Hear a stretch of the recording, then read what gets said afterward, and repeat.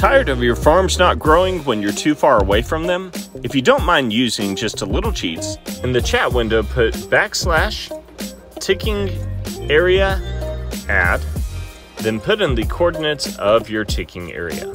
You are allowed up to 10 ticking areas per game. Now that area will remain active no matter how far away you go in the world. To view your ticking areas, simply type in ticking area list.